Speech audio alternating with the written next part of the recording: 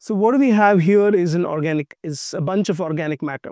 In this case, we have the leaves of cacao and what will happen to a cacao or any leaf which is in the ground. So first it gets eaten by macroorganisms, the centipedes, the pill millipedes, the earthworms, they feed on it.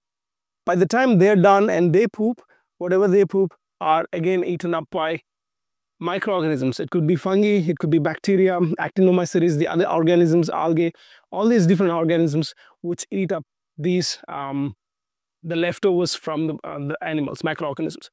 Once they're done with it, the nutrients go back into the soil. As you can see over here, within a span of few months, we have the topsoil rich with micronutrients. It's also very soft and these soil have the nutrients ready for the plants to absorb. And we can see another benefit um, that macroorganisms has, has done over here. In this case, it could be mm, a crab or something else.